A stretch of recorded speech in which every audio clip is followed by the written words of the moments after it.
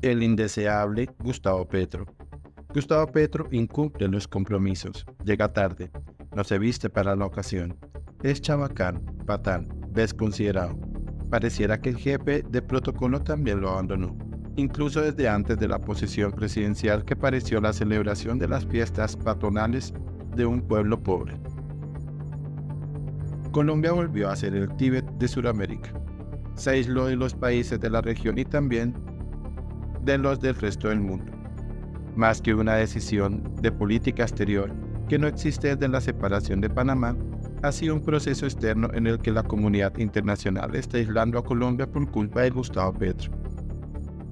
No es un secreto que Gustavo Petro se convirtió en un ser totalmente indeseable en todos los ámbitos de su vida.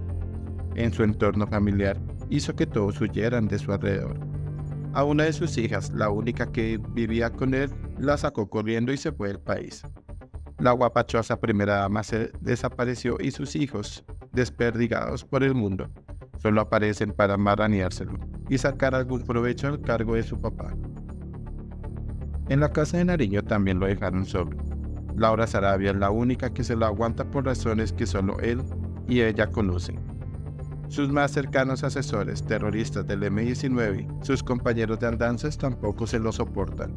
Eso no es nuevo. Petro, siendo alcalde de Bogotá, formó su séquito personal con terroristas del M-19 y en ese momento también lo dejaron solo porque no se lo aguantaban. Tuve un profesor que había hecho parte del M-19 y del Sanedrín de la alcaldía de Bogotá, y recuerdo que dedicaba gran parte de la clase a hablar mal de Petro y a contarnos que era un monstruo abominable.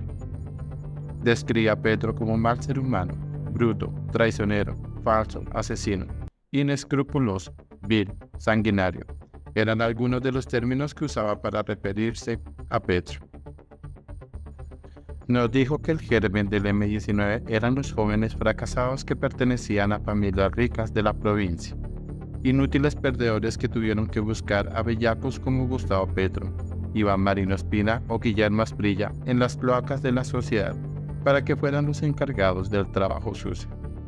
Sin embargo, a pesar de conocerlo y saber la calaña a la que pertenece, atraídos por las pieles del poder y el atractivo del saqueo a las arcas públicas, terminaban por aceptar su llamado a acompañarlo en el gobierno del cambio.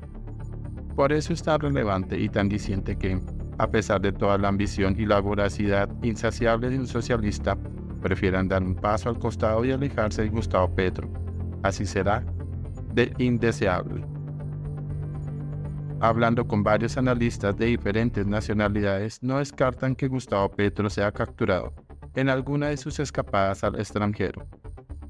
Las múltiples acusaciones por crímenes de lesa humanidad que no prescriben, instauradas contra el grupo terrorista M19 en diferentes jurisdicciones que se hacen extensivas a sus miembros, lo hace absolutamente indeseable para sus calanchines que no quieren seguir dando visaje.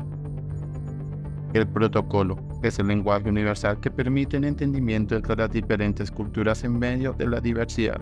Es desconocido y es atendido por Gustavo Petro, tratando de mostrarse disruptivo, antisistema, como si ese acto de ramplonería o mal gusto le hiciera ganar admiración y respeto en el contexto internacional.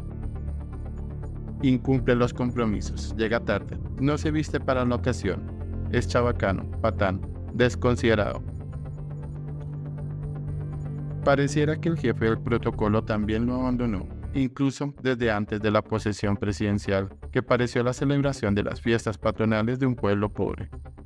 No usó Prat para asistir a una cena de Estado en el Palacio Real de Madrid como lo exigía la etiqueta de la ocasión, más que un acto contestatario y de rebeldía contra las élites. Lo que hizo Petro fue visto por la sociedad española como el comportamiento de un sudaca salvaje, primitivo, que no sabe respetar un evento oficial de gran importancia para las relaciones diplomáticas de Colombia con España.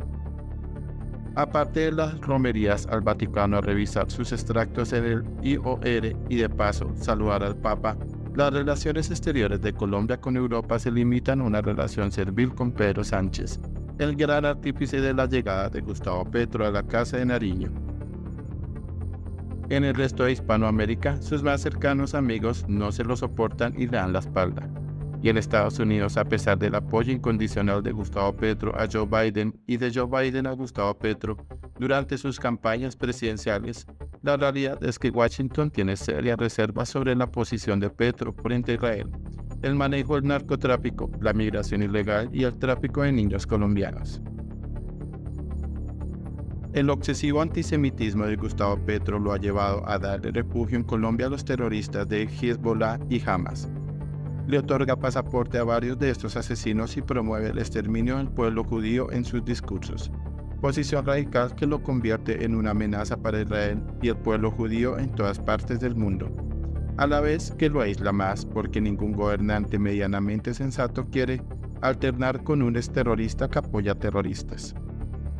Su discurso anacrónico de la sostenibilidad, el cambio climático y la justicia climática, tan de moda hace 20 años, totalmente desvirtuado en la actualidad, lo hace ver como un perfecto imbécil, desubicado, mal asesorado y lo peor, muestra a los colombianos como un pueblo ignorante, atrasado y subdesarrollado que eligió un tipo que afirma, contra toda evidencia, que el petróleo es fósil de dinosaurio derretido. Gustavo Petro se quejó porque no fue nadie importante acá a uno de esos eventos que se inventa la ONU para esquilmar a países con gobiernos débiles y vulnerables ante la crisis financiera y política que vive un ONG que hace mucho que cumplió con su ciclo porque nunca logró cumplir con el objetivo para la que fue creada.